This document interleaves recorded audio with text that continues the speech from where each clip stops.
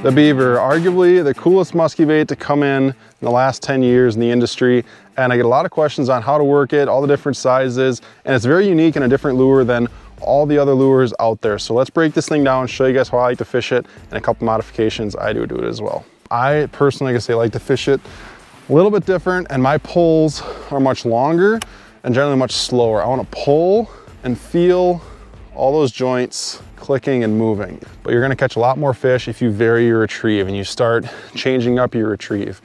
Hey guys, if you wanna access this exclusive content, I'm gonna show you a quick way to get there. If you're an Apple user, you're gonna need to go to Safari, type in youtube.com. Once you're there, you're gonna look in the bottom left-hand corner by the URL, you're gonna see a large A and a small a. You're gonna wanna click on that and select desktop version. Once you're there, search Doug Wegner Fishing in the search bar on top. You're gonna come to my homepage on YouTube. You're gonna see a join button right there. If you're an Android user, the join button is there as well.